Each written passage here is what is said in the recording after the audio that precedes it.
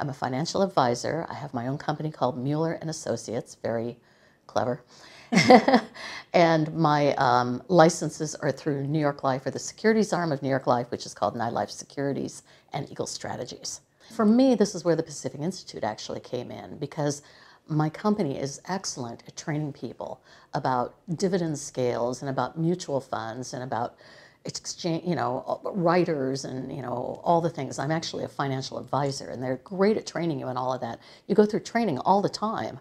What, what I felt the company was not good at was teaching me how to deal with the stuff that keeps me from doing the things that would be successful. And that's where the Pacific Institute came in for me. Well, what to say about New York Life? It's probably, well, it is the premier financial organization in the nation.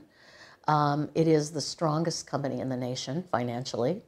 They run the company right for the right reasons. Nobody got off on credit default swaps. Um, I mean, the company has its head screwed on straight. They know what they're about, they know what their mission is, they do it, they do it with the client in mind and the people who work for them. I often tell my, my clients that it's almost like a company from the 1950s. They try to do the right thing. Probably in like 1987 or so, um, my then husband worked at KIRO TV and um, he said the management is going to be going to this workshop. They've invited spouses. And this guy by the name of Lou Tice talked. And um, it was like, um, it was like walking into a new room that had been attached to my house and I never knew was there. And it was, um, I mean, it was revolutionary for my brain. Um, and really, it was just, like I said, it was like my mind opening up. Just, I don't even know how to explain it. It's almost like uh, it was a language that was already there for me, and I didn't know I spoke it. But when people spoke to me, I understood it. It was, it was fabulous. And I set a goal then to get more information. So I went down to the Pacific Institute and they said, oh, we've got these audio cassette programs and we've got these videos that you can buy. And by the way, you could go to a Lou Live type thing where he would actually talk to you for a longer period of time, like two and a half days. I, I mean, to this day, I don't drive down the freeway without listening to the tapes. And like I said, I can probably mouth the tapes, but every single time I get something new out of it. I've used this information at, from the Pacific Institute in all areas of my life. Um, last year, I decided I would try to be the number one person at the company, which I managed to succeed. But in the middle of that run, which was a year long run, um, I also set some other goals. I set a goal to find somebody worthy of loving, and I found him. And I set a goal to buy some property uh, in at the time, I thought it was the San Juans, and I did that. So um, I use it in all areas of my life, and I find that it's not a choice of working in one area or the other. That's what's great about the information is that you get to set goals in lots of areas of your life. I mean, that's what this information has taught me, is that you don't have to bite down on things, right? You don't have to knuckle under and do it and work 40, you know, 50, 80, 100, 110 hours a week. I mean, I worked nine to five when I did this. But um, I, I, set the goal and I let my reticular activating system open up and find the people to talk to, and, and you have rapid growth and expansions in all areas of your life. It's almost like you've got a magic box.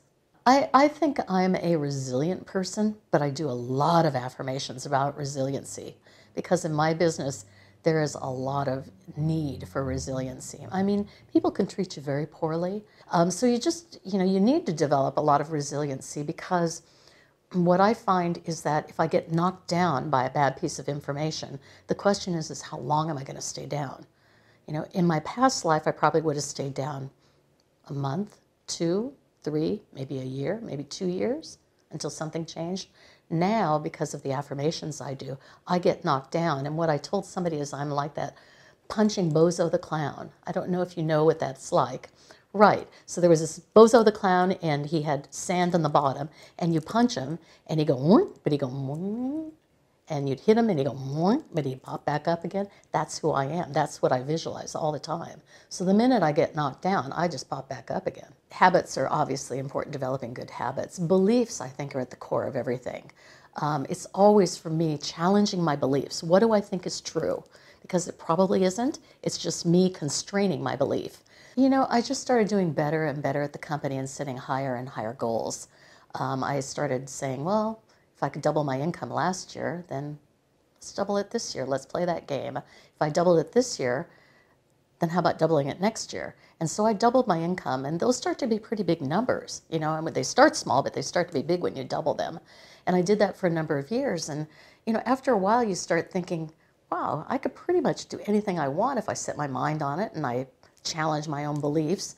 Um, and then the next thing, so you're in the top 50 people of the company for 10, 12 years, and you start thinking, you know, those people on stage who are number one, which when I first started were like, whoa. I mean, they're, they're just people like me. I think there's a bigger platform for me talking about kind of this information and empowering people, but women in particular, um, to know that they can live a very intentional life. Here I go again. But people can actually get anything they want, truly, if they just start using this information. And it piles upon itself. At the beginning, you know, you're skeptical inside yourself. And then pretty soon, you know, like I said, I had a couple of situations where I set a goal and I got it right away. And you start thinking, maybe I could set bigger ones and then bigger ones. And then why not be this and why not be that? And for me, it's trying to figure out not just to achieve a goal for achieving it, but what is driving me, what, hmm, what things are within me that need to be fed, okay? That, um, and they, they change from year to year. But if you feel like you're capable of more, right? But somehow or another, that's the way I felt. I thought, I was capable of a lot, but why am I living this life that makes me feel I'm a little more measly? In fact, it was sort of the longer I was doing it and the more I was not doing well, the worse I was feeling about myself inside. I think on a day to day basis, I might not have been able to measure that, but when I look at it, I was kind of on a downhill slope of my assessment of my own abilities to create things and make things happen. So when I got on that uphill slope, which was the Pacific Institute for me, um, you know, I just had little victory after little victory, little victory, and then I started thinking, oh, this stuff works, and this works, and it works bigger, and you start getting more and more intensely into it. I guess what I've learned through the reticular activating system is that the answers are all there, the clients are all there. It's just me opening up to them. It's not a magic thing of me having you introduce me to a very, very wealthy person all the people are out there. All the solutions I need are out there. I just need to open up my brain to see them. I have to set the goal first. And then when the goal is set, I open up and I see all the solutions. They are already there. It's like magic. It's like Lou said, the keys in your pocket the whole time. You know, you're stuck in jail and you could be stuck there your entire life. I think most people live unfulfilled lives. What is that phrase? A life of quiet desperation. So many people do. And then to discover after all of that that the key's in your own pocket and all you have to do is take it out of your pocket, put it in the lock, open it up, and the whole world's out there for you. That's what the Pacific Institute has done for me.